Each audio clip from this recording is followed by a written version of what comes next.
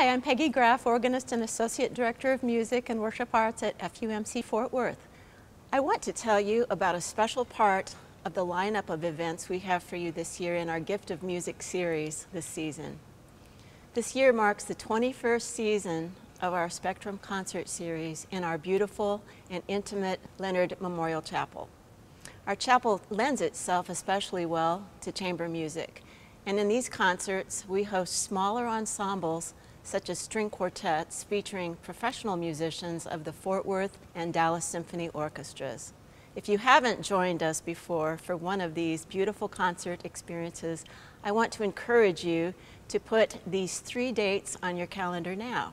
Our first Spectrum concert is on Monday, October 16 at 7 p.m.